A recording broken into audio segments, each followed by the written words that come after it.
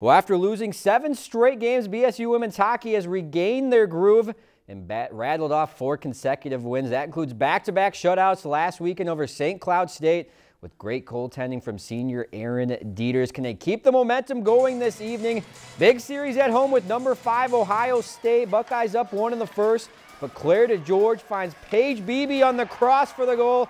That will tie things up. Then later in the period, Mac Lange fires one from the point. Sylvia Marolt redirects it in. Beavers take the 2-1 lead, but Ohio State answers. They put one to net. Liz Schepers right out front and lights the lamp.